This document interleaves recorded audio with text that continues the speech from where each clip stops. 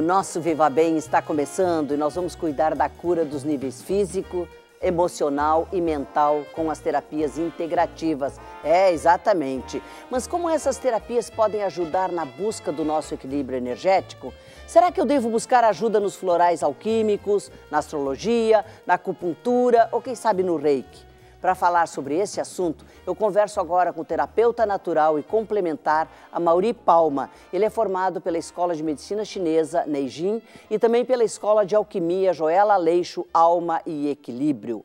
Mas antes de começar a nossa conversa aqui, nós vamos conhecer a história da Filomena Rodrigues da Silveira, de 54 anos, com os florais alquímicos. Vamos lá? Eu tenho um problema é, chamado fibromialgia que ainda não existe a cura pela medicina, pela medicina ortodoxa.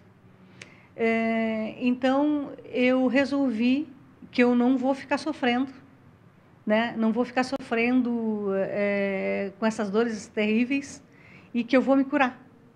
Então eu decidi que eu ia buscar onde eu achasse que que pudesse haver uma luz no fundo do túnel. Aí eu conheci o, os florais alquímicos, né? Eu, eu, eu, já vinha mais ou menos na procura da alquimia e eu resolvi uh, me tratar com eles. Bom, quando eu comecei o tratamento, uh, o terapeuta Mauri disse, falou para mim, pode haver grandes mudanças na tua vida, né? Pode haver uma grande mudança na tua vida e, e começar uma cura de dentro para fora, né, daquelas coisas que estão lá muito bloqueadas, que às vezes nem mesmo a, a própria pessoa tem conhecimento de por que está ali.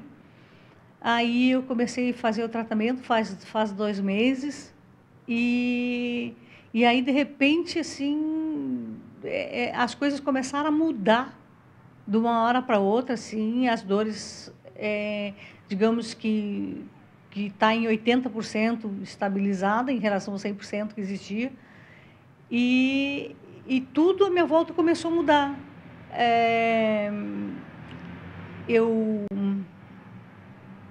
mudei de endereço, mudei de casa, uh, os filhos foram cada um para um lugar, né? Então a minha vida está vendo uma mudança no geral, assim, é, para melhor, assim, uma coisa assim que é, é, quase surreal, assim. Eu espero ser uma pessoa que tenha saúde que, que eu tenho uma qualidade, que eu tenho uma, que eu estou buscando uma qualidade de vida boa, né? E eu acho que as pessoas têm que buscar o melhor para si, tentar ser feliz, né? Tentar ser feliz. E com dor ninguém é feliz. ninguém consegue ser feliz. A, é, a minha profissão é uma profissão muito estressante, né? É, um agente penitenciário vive sob tensão, né? Então eu busco essa calma, essa transformação toda desse tratamento com florais. É exatamente isso que as pessoas buscam, né, Mauri? Prazer te ter no programa. Ah, o prazer é Isso é muito bom para a gente, né?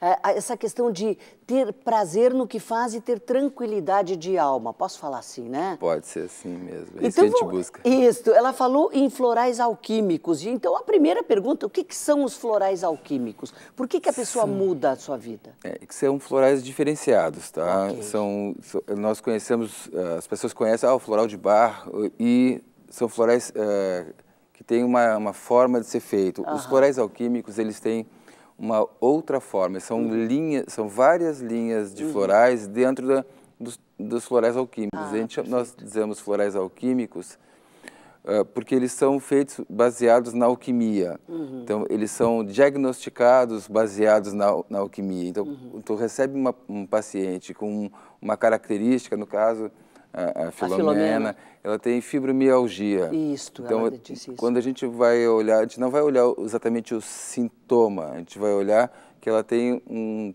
que nós chamamos lá, uhum. tá, de tártaro de terra. Ah, okay. Então, nós vamos tratar o elemento terra dela que tem desequilíbrio no corpo. Por isso o sintoma do que se chama fibromialgia. Isso, ah, e, não, okay. e não são só esses os sintomas. Ah, então, perfeito. isso pode trazer outros sintomas na, na, forma, na, na, parte comportamental também. Uhum. Então a gente sabe que, assim como os outros florais, claro, eles são feitos especificamente para aquela pessoa. Mas esse ainda trabalha ligado ao que ela está sentindo. ao que ela vem se queixando. Isso, ela, ah, vem, okay. vem, ela vai é, entrar num, numa característica física e numa característica comportamental.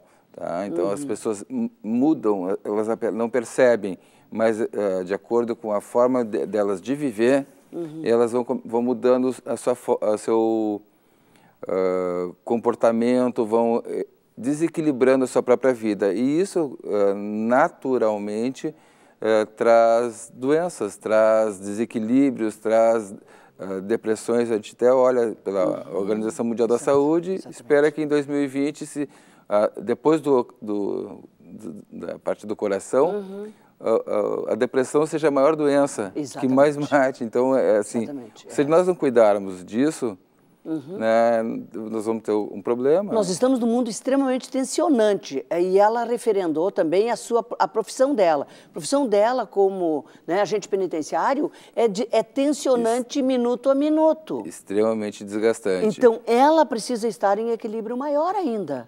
Sim, tem que ter reação rápida para qualquer situação, porque é, é a vida ah, dela que depende, isso claro, depende da vida dela, né? Claro. Esses florais têm a ver com astrologia? A, astro, a alquimia tem a ver com astrologia. Ah, ok, entendeu um ah, pouquinho mais. Então, assim, é, nós é, usamos, existem os florais astrológicos dentro dessa, de uma, dessa linha.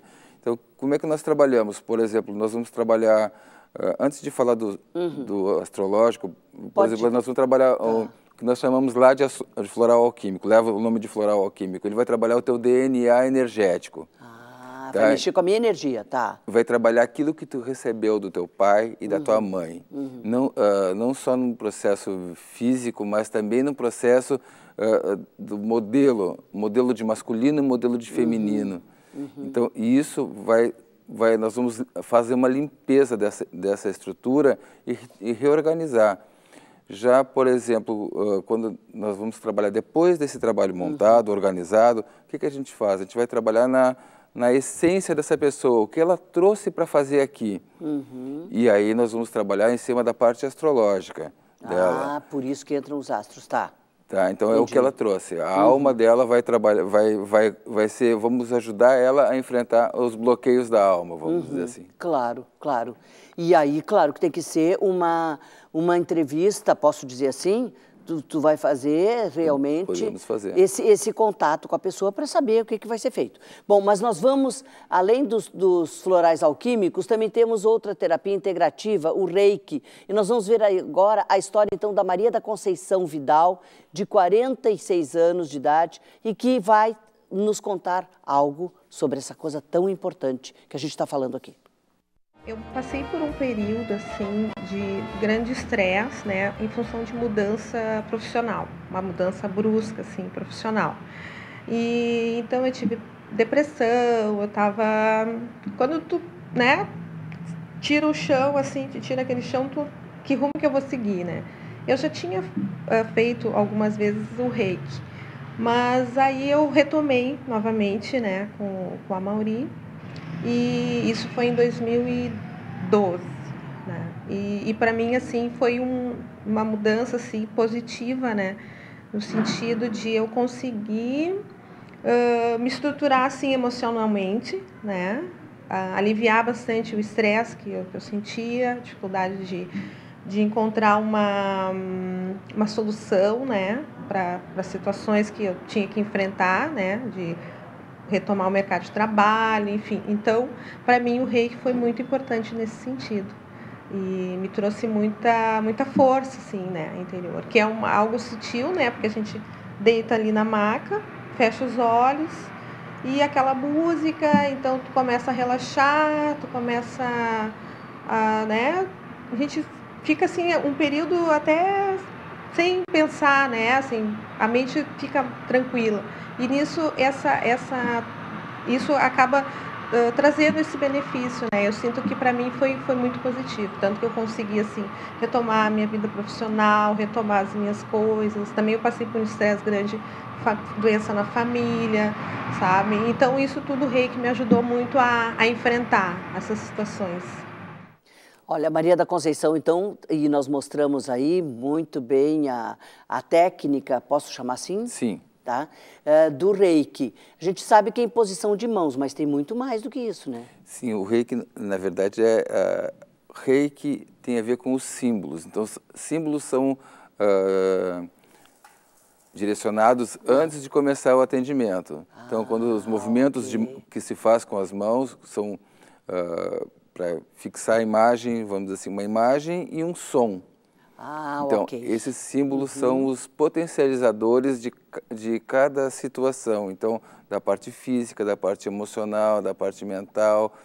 Da, só, existe um símbolo que ele não tem exatamente, não tem exatamente um, uma energia direcionada, ele é um, um, portal, vamos dizer assim, ele abre a porta do tempo e do espaço. Uhum. Então não adianta às vezes eu tratar uma pessoa com uma doença que ela está tendo aqui, mas a causa dessa doença está lá quando ela tinha quatro anos de idade. Uhum. Daí, então, eh, se eu não for lá abrir aquela porta, eu não resolvo E o aqui. reiki oportuniza isso? O reiki. Justamente esse, esse símbolo eh, de abertura... Abre de, essa porta. Abre a porta do tempo. Ah, então, tu consegue... Entendi Tá. Quebra, ir na, na, uhum. no foco, na origem do problema. E a, e a pessoa tem que estar relaxada, como a gente viu, que a Maria da Conceição ficava ali, praticamente assim, é, que ela dizia assim, a gente consegue não pensar, ou seja, limpar a mente através de todo aquele contexto de som, ela, ela completamente relaxada e entra em conexão com a energia do terapeuta. Posso dizer isso?